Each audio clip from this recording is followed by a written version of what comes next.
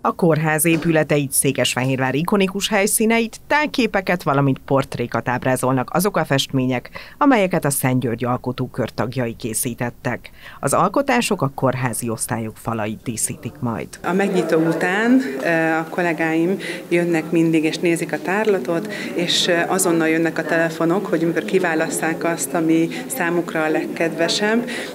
Például látom, hogy az idei kiállításon a Louisa épület a sokakat meg ihletett, úgyhogy biztos, hogy kellendő lesz.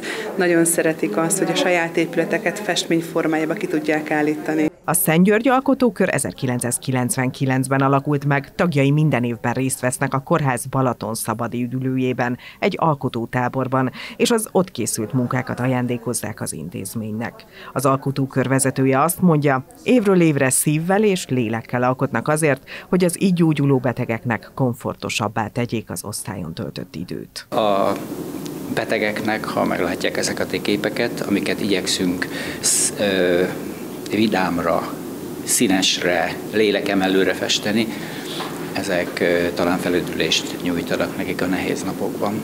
Horváth Péter hozzátette, a kiállítást az egykori vezetőnek, szakállantal festőművész emlékének ajánlja.